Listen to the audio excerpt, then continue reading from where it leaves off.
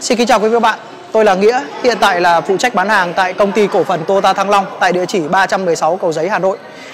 À, đứng bên cạnh tôi đây là mẫu xe Toyota Camry nhập khẩu Thái Lan 2019 hoàn toàn mới. Mới ra mắt ngày à, 24 tháng 4 2019 vừa qua.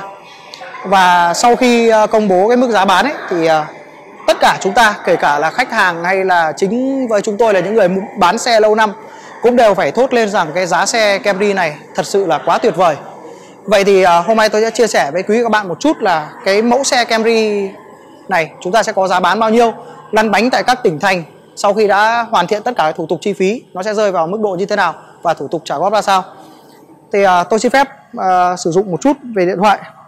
Thứ nhất là về cái uh, phiên bản 2.0G tức là phiên bản thấp nhất chúng ta có giá niêm yết là 1 tỷ 029 triệu. Và sau khi hoàn thiện tất cả các thủ tục liên quan đến thuế trước bạ này biển số uh, đăng kiểm và bảo trì đường bộ. Ở đây tôi không tính bảo hiểm thân vỏ các bạn nhé vì cái đó không bắt buộc. Sau khi hoàn thiện tất cả chi phí đấy thì chúng ta sẽ có một con số như sau.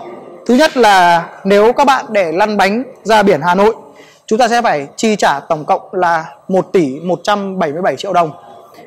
Tại thành phố Hồ Chí Minh là 1 tỷ 148 tại những tỉnh thành mà đang áp dụng mức thuế trước bạ là 12% ví dụ như Quảng Ninh Hải Phòng thì chúng ta sẽ có mức giá là 1 tỷ 157 triệu và 1 tỷ 137 triệu là dành cho những ờ, khách hàng đăng ký ra biển tại tỉnh thành có áp dụng mức thuế là 10%.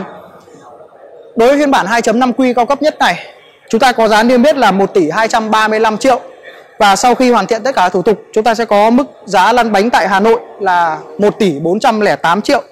Tại thành phố Hồ Chí Minh là 1 tỷ 375 Tại các tỉnh thành đang áp dụng thuế 12% là 1 tỷ 388 và tại các tỉnh thành áp dụng mức thuế 10% là 1 tỷ 364 triệu. Các bạn lưu ý là về thủ tục trả góp thì chúng ta sẽ chỉ uh, tính cái tỷ lệ vay dựa trên cái mức giá niêm yết. Tức là chúng ta sẽ được vay tối đa 85% của 1 tỷ 029 hoặc 85% của 1 tỷ 235 triệu. Các chi phí khác liên quan về thủ tục đăng ký thì chúng ta sẽ chuẩn bị riêng. Tức là để sở hữu chiếc Camry 2.5 2.0G à, các bạn cần trả trước tối thiểu là 20% giá trị xe, tức là khoảng 200 triệu, cộng với cái chi phí đăng ký tại tỉnh thành mà các bạn định ra biển số. Đối với cái phiên bản 2.5 Q thì chúng ta sẽ chuẩn bị trước khoảng 250 triệu tiền xe và cộng thêm các chi phí đăng ký, đăng kiểm. Mọi thủ tục liên quan đến trả góp và hỗ trợ về chi phí cũng như là giá bán chính thức của dòng xe Camry nhập khẩu này. Quý vị và các bạn vui lòng liên hệ trực tiếp theo à, hai số hotline ở trên clip để có được cái giá chính xác nhất. Xin chào và hẹn gặp lại quý vị bạn ở những cái video clip tiếp theo. Xin cảm ơn ạ.